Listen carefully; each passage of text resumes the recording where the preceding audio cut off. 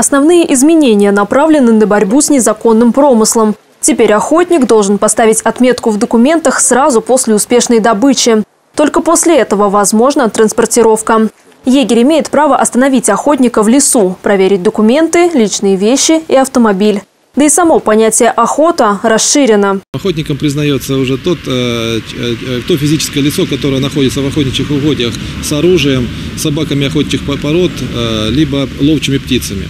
То есть и охотой признается преследование, добыча, транс, транспортировка.